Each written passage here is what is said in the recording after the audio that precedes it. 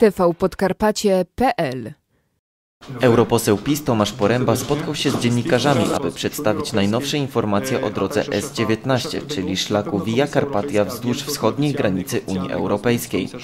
Tempo negocjacji znacząco wzrasta. Rosną również szanse, że ten zakrojony na wielką skalę swojego kraju. Po co? No po to, żeby połączyć Słowację. realizacji. Chciałem Was poinformować o trzech bardzo ważnych wydarzeniach, inicjatywach, e, które e, mm, będą w najbliższym czasie, w najbliższych miesiącach i dniach e, realizowane w kontekście e, drogi S19, drogi e, strategicznej dla naszego województwa Polski Wschodniej, e, szerzej rozumianej drogi Via Carpatia które były, będą podejmowane w najbliższych miesiącach z mojej inicjatywy, ale też z inicjatywy polskiego rządu.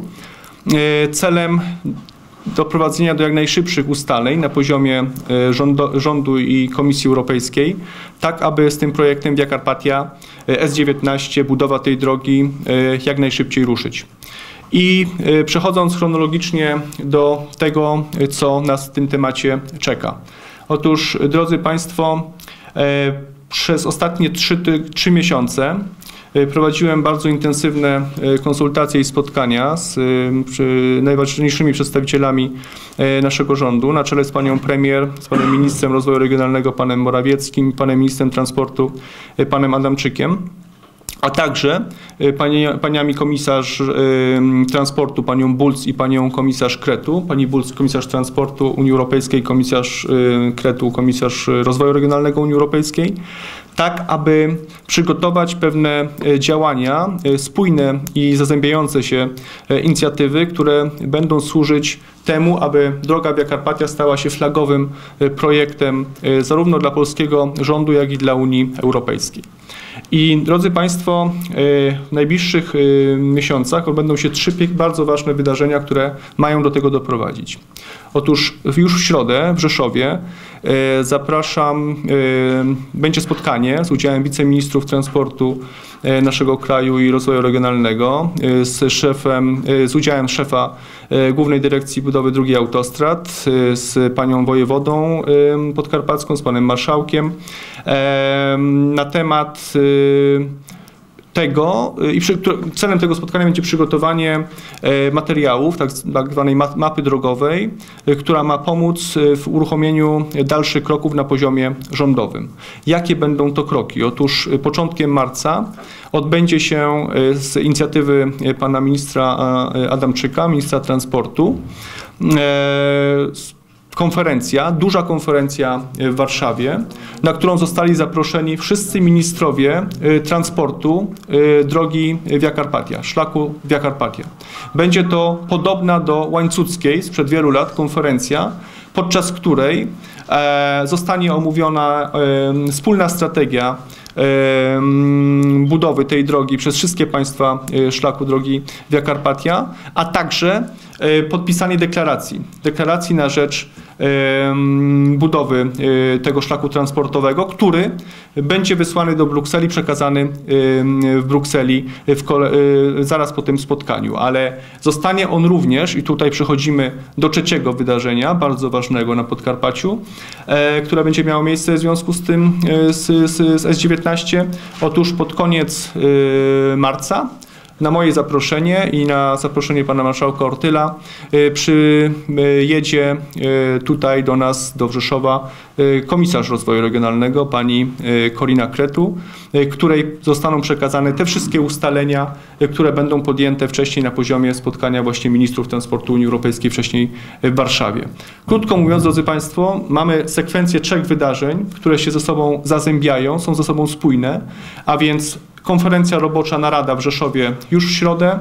W marcu, początkiem marca duże spotkanie, naprawdę myślę, że przełomowe e, spotkanie w tej sprawie wszystkich ministrów transportu szlaku, krajów szlaku e, Via Carpatia i wreszcie koniec marca przyjazd pani komisarz Kretu e, odpowiedzialnej za rozwój transportu również e, i środków i e, dystrybucję środków europejskich w ramach e, polityki spójności, której e, zostanie wysłany bardzo wyraźnie sygnał, przekazana bardzo ważna deklaracja, że tak, Polska i inne kraje tego regionu chce budować tą drogę. Chce budować szlak Via Carpatia, co na pewno będzie z korzyścią dla wzmocnienia bezpieczeństwa i po y, flanki wschodniej Unii Europejskiej, ale też do y, podniesienia poziomu rozwoju, przyspieszenia rozwoju, wyrównywania szans rozwojowych między y, Europą Wschodnią a Europą Zachodnią. I drodzy Państwo, to chciałem Państwu przekazać, ale też dodać, że podczas tych wszystkich spotkań, które będą mieć miejsce, zwłaszcza tej narady roboczej, która, ma miejsce, która się odbędzie już w środę, będziemy też bardzo mocno podnosić kwestię karpackich odcinków e, drogi Via Carpatia. Jak wiemy, Lublin, Rzeszów y, rozpisane są już y, na dużej, na pewnej części e, tego, tego, tej drogi e, są rozpisane przetargi.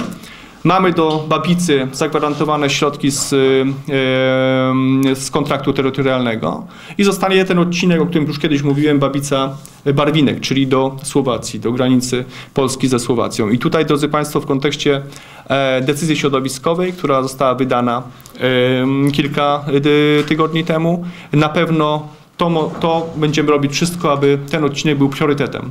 To był tak naprawdę priorytet, pierwsza inwestycja w ramach S19 w Polsce, czyli ten odcinek Barwinek-Rzeszów y, w ramach koperty spójnościowej y, polityki programu spójnościowego, koperty spójnościowej środków europejskich dla Polski na lata 2014-2020. Także, drodzy Państwo, to jest efekt tych kilku ostatnich miesięcy, oczywiście też zmiany sytuacji politycznej w Polsce, zmiany rządów. E, Bardzo się cieszę, że te spotkania, które odbyłem zarówno w Warszawie, powtarzam, z panią, pani, panią premier, z ministrami e, e, odpowiedzialnymi za transport, rozwój regionalny, ale też z komisarzami, przełożyły się na to, że będzie pewna sekwencja zdarzeń, która mam nadzieję doprowadzi do tego, że e, ta droga, e, budowa tej drogi po prostu w Europie przyspieszy, a ze szczególnym uwzględnieniem Polski Podkarpacia, bo wiadomo, że Polska jest istotną częścią drogi Via Carpatia, S19 w Polsce.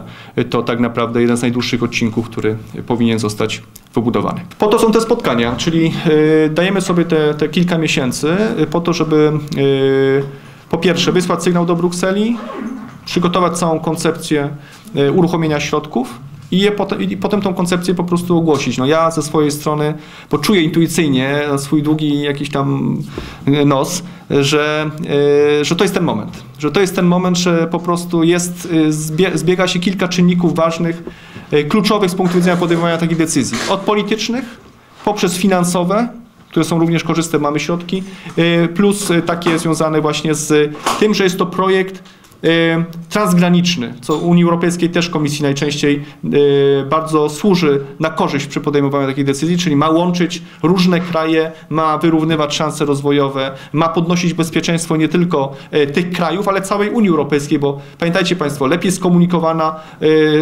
y, flanka wschodniej y, Unii Europejskiej, wscho- wschodniej Europy, to również podniesienie jej bezpieczeństwa, więc y, argumentów jest mnóstwo.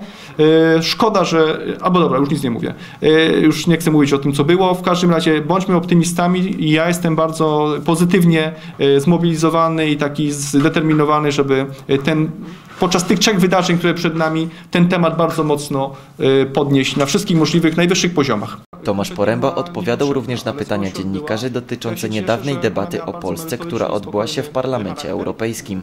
Odniósł się również do wystąpienia premier Beaty Szydło. Decyzją konferencji przewodniczących wczoraj, z, ym, a więc szefów grup politycznych Parlamentu Europejskiego, y, uzgodniono, przyjęto, zgodzono się, że nie będzie rezolucji y, w lutym na temat Polski. Ale kolejna konferencja y, szefów grup politycznych jest w czwartek, kolejny czwartek.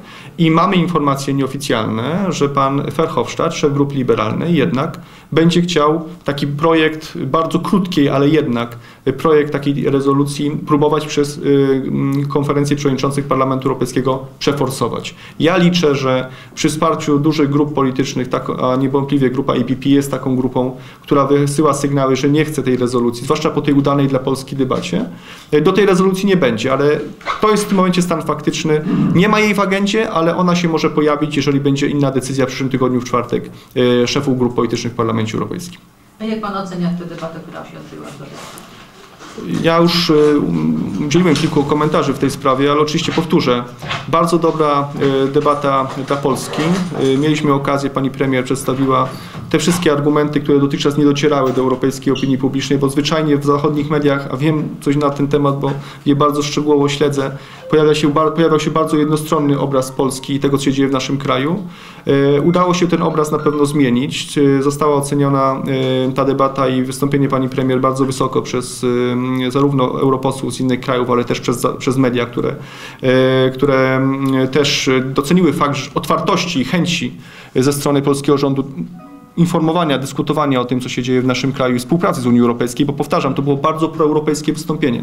Ja bym chciał to podkreślić, to było bardzo e, proeuropejskie, prounijne wystąpienie pani, e, pani premier, która mówiła nie mniej, nie więcej. Można, ją, można to wystąpienie skrócić w jednym zdaniu. Chcemy współpracować z Europą, chcemy być silnym i aktywnym członkiem Unii Europejskiej i wspólnie z Unią Europejską e, rozwiązywać te wszystkie problemy, przed którymi Unia Europejska stoi. Ale pozwólcie nam też podejmować jako z- suwerennemu rządowi wybranemu w demokratycznych wyborach decyzje, które obiecaliśmy Polakom. I drodzy Państwo, to jest jakby clue e, tej sprawy i to było clue tego wystąpienia.